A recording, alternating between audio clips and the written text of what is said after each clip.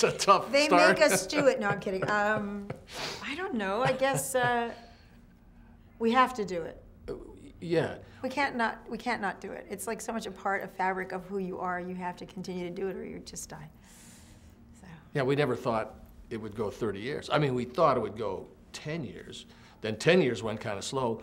And then 15 years after that went kind of fast. And now they're going even faster. So we don't know what we're doing. We have no idea. We're just letting it go.